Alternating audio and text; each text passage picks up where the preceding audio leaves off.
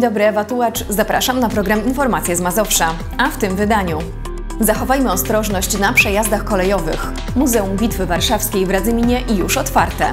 Nowoczesny sprzęt komputerowy dla mazowieckich szkół. Każdego roku na polskich przejazdach kolejowych dochodzi do wielu niebezpiecznych zdarzeń. Pośpiech, ignorancja, brawura i brak rozsądku to najwięksi zabójcy na torach. Tylko w lipcu doszło do 19 wypadków i kolizji, a 6 osób zginęło. Tym roku na przejazdach i przejściach kolejowych na Mazowszu doszło do 17 wypadków, w których śmierć poniosły trzy osoby. To dwa razy więcej niż w analogicznym okresie ubiegłego roku. Dlatego apelujemy o ostrożność. Każdy użytkownik drogi powinien pamiętać o przepisach ruchu drogowego oraz zasadach bezpieczeństwa obowiązujących na przejazdach. Ignorowanie ich może prowadzić do niebezpiecznych sytuacji, a nawet śmierci. W ostatnich dniach doszło do groźnego zdarzenia w Dalanówku, niedaleko Płońska, w którym zostały poszkodowane 22 osoby. Kierowca nie zachował szczególnej ostrożności, wjechał na niestrzeżony przejazd i zderzył się z szynobusem. Nigdy nie da się przygotować na te wszystkie zdarzenia i wypadki, które się zdarzają właśnie na przejazdach kolejowych. Jest to wszystko spowodowane bezmyślnością i pośpiechem kierowców czy pieszych, którzy chcą zaoszczędzić 10, może 20 sekund czasu. Ze statystyk wynika, że do 99% wszystkich wypadków na przejazdach doszło z winy kierowców. Najczęstszą przyczyną tych zdarzeń jest ignorowanie sygnalizatorów czy znaku stop. Najczęściej to jest pośpiech kierowców, którzy chcą jak najszybciej przejechać i myślą, że jak pół rogatki się zamkną, to objadę szybko slalomem i e, zdążę przejechać te właśnie 20 sekund zaoszczędzę, a naprawdę ten pociąg może nadjechać w tym czasie. Lato też e, służy temu, że nawet jak sama policja podaje, że najwięcej wypadków dochodzi na prostej drodze w słoneczny dzień i praktycznie podobnie jest u nas, bo ludzie wtedy uważają, że jest dobra widoczność, właśnie, e, że jak jest dzień widno, to są inne warunki niż pora nocna i dlatego jest, są bardziej śmielci i odważni do, do łamania tych przepisów. Koleje mazowieckie dbają o bezpieczeństwo swoich pasażerów, stale inwestując w nowoczesny tabor i zaplecze techniczne. Mamy ponad 300 e, pojazdów,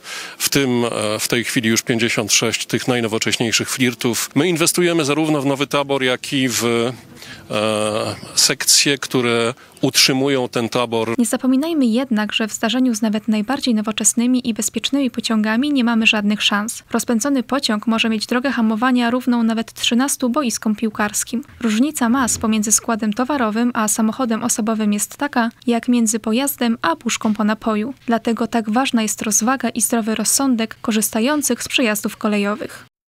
W Radzyminie powstało Muzeum Bitwy Warszawskiej 1920 roku.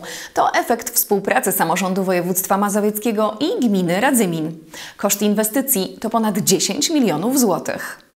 Placówka jest nowym oddziałem Muzeum Niepodległości w Warszawie. Trzy lata temu wspólnie z panem burmistrzem Radzymina Krzysztofem Hacińskim doszliśmy do wniosku, że musimy wziąć sprawy w ręce samorządu i wreszcie zrealizować e, tutaj miejsce, które będzie poświęcone tym wielkim wydarzeniom e, sprzed 100 e, lat. To się udało. Dzisiaj oddajemy budynek.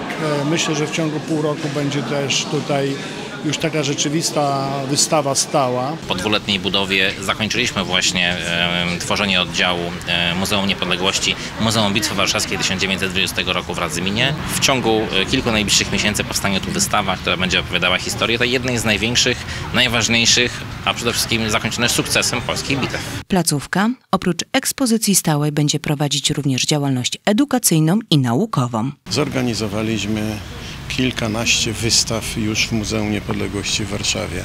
W Cytadeli Warszawskiej, gdzie jest nasz oddział, e, w Muzeum Więzienia Pawiak, no i w centrali, e, czyli w Pałacu Przybędowskich Radziwiłłów na Alei Solidarności.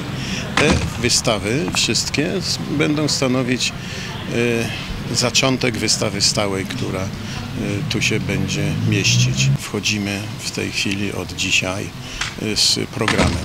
No i program realizujemy taki, jak sobie zamierzyliśmy przed laty. Wystawy, e, sympozja naukowe, wydawnictwa. W nowym oddziale Muzeum Niepodległości prezentowana będzie ekspozycja stała o wartości blisko 4 milionów 300 tysięcy złotych, ukazująca szeroki kontekst Bitwy Warszawskiej 1920 roku oraz wojny polsko-bolszewickiej. Otwarcie wystawy planowane jest na przyszły rok. 186 szkół z województwa mazowieckiego otrzyma w tym roku sprzęt komputerowy i specjalistyczne oprogramowanie. Samorząd Mazowsza realizuje program dzięki środkom unijnym. Początek roku już za kilka dni. Dzięki podpisanym w trakcie wakacji umowom w ramach programu Mazowiecki Program Przygotowania Szkół, Nauczycieli i Uczniów do Nauczania Zdalnego do mazowieckich szkół trafi wysokiej klasy sprzęt IT o wartości do 160 tysięcy złotych na jedną placówkę. Od czasu, kiedy pojawiła się e, pandemia, my wsparliśmy kilkaset e, szkół e, w obrębie województwa mazowieckiego w taki sprzęt, y, który umożliwia zdalne nauczanie. To, co y, jest innowacyjne w tym programie, y, zakupiliśmy oprogramowanie, licencję do nauki gry w szachy. Jesteśmy z tego dumni, dlatego że szachy rozwijają. Zakupiony sprzęt IT to m.in. zestawy komputerowe, laptopy, tablety, projektory multimedialne, monitory interaktywne, oprogramowanie edukacyjne 3D oraz e-podręczniki do nauki języka angielskiego. Otrzymaliśmy 130 tysięcy złotych w ramach mazowieckiego programu przygotowania szkół do nauki zdalnej.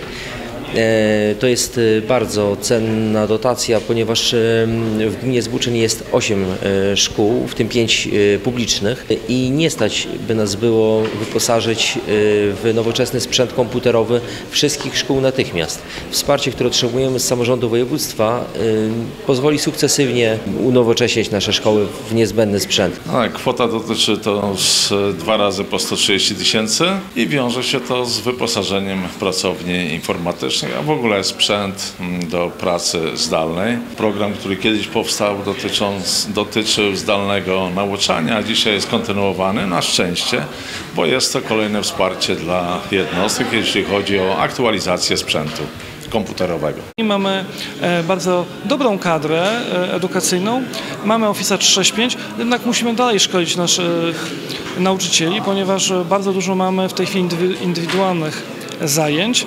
E, właśnie dla osób, które e, potrzebują indywidualnego podejścia do tego działania. Program realizowany jest od 2020 roku. W ramach trzech naborów wyposażenie trafiło lub trafi w sumie do 552 szkół z Mazowsza. Wartość projektu to ponad 80 milionów złotych. Samorząd województwa mazowieckiego od początku wojny w Ukrainie wspiera obwody partnerskie, m.in. poprzez przekazywanie pojazdów i sprzętu medycznego.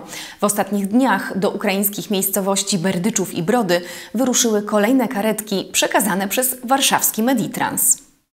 Karetki przez długi czas służyły potrzebującym pomocy mieszkańcom Warszawy i okolic. Teraz w pełni wyposażone trafiły do ukraińskich szpitali, gdzie pomogą w ratowaniu życia ofiarom wojny. Dwie karetki, jedna z nich trafi do obwodu lwowskiego, dokładniej do miejscowości Brody a y, druga do obwodu żytomierskiego, do y, Berdyczowa. Są to y, w pełni wyposażone karetki, które mogą być natychmiast użyte do niesienia pomocy zarówno rannym, jak i chorym. To są e, defibrylatory wieloodprowadzeniowe, które w każdych schorzeniach e, kardiologicznych e, mogą być używane, również do monitorowania pacjenta, ale też i do, do działania w stanach nagłych.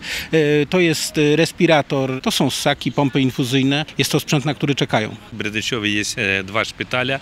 Jeden szpital jest dla chłopaków, którzy byli na, wojnie, na wojnie i jest drugi szpital, który dla ludzi, którzy chłopaki вже після війни, які wracались, to będzie duża taka pomoc dla lekarzy naszych. W ramach wsparcia dla Ukrainy trwa także nabór wniosków do programu Polska-Ukraina. Partnerzy z Polski i Ukrainy będą mogli otrzymać unijne środki na wspólne projekty. W ramach programu Polska-Ukraina e, można składać projekty. W tej chwili jest nabór na zdrowie i na ochronę środowiska, e, a oprócz tego e, jest również turystyka, jest kultura i jest dostępność, czyli granice. Warunkiem jest to, żeby mieć po stronie e, Ukraina po stronie polskiej, a Polska po stronie ukraińskiej mieć partnera, bo transgraniczność musi być wykazana.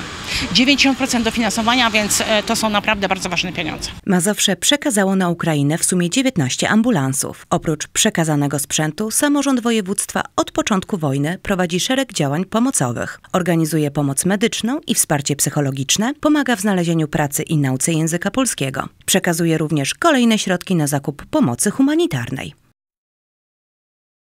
Zgłoś wolontariusza do konkursu Mazowieckie Barwy Wolontariatu.